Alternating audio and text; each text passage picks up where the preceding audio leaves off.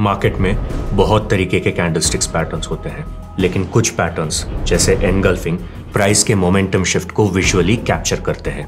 आज हम उसी पैटर्न को ब्रेक डाउन करेंगे स्ट्रक्चर कॉन्टेक्स्ट और डेटा के साथ। मैं हूँ Pranav Shandilya House of Trading से and let's get started engulfing pattern एक टू कैंडल रिवर्सल फॉर्मेशन है, जिसको मार्केट टॉप्स और बॉटम्स आइडेंटिफाई करने में यूज़ किया जाता है। इसमें दो तरीके के पैटर्न्स होते हैं bullish and bearish engulfing bullish engulfing तब बनता है जब पहला कैंडल रेड होता है और अगला ग्रीन कैंडल उसकी बॉडी को पूरी तरीके से कवर कर लेता है। इसका मतलब है कि दूसरा कैंडल का बॉडी पहले कैंडल के बॉडी को एनगल्फ यानी कवर करता है।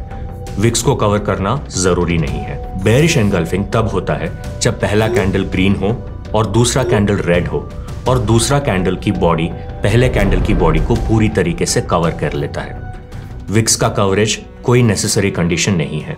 इन 2023 एंड 2024 निफ्टी 100 स्टॉक्स में on the daily time frame in patterns 400 times से ज़्यादा फॉर्म हुए हैं।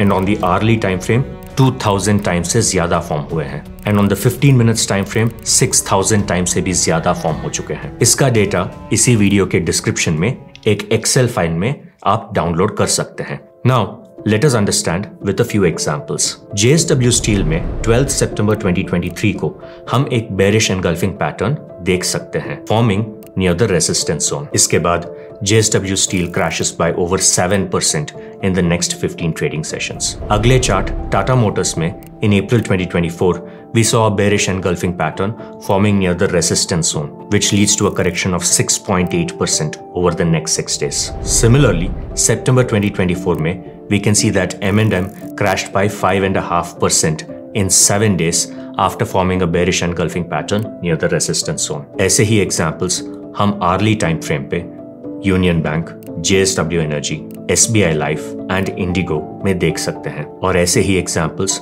हम बुलिश एनगल्फिंग पैटर्न्स को Titan Tata Steel IndusInd bank JSW Energy Naukri and VPL stocks पे भी देख सकते हैं। So now that we know how to identify these patterns there are three very important suggestions that we need you to look out for number one These patterns work better when they're forming near support and resistance zones. Bullish engulfing patterns work better when they're forming at a support zone.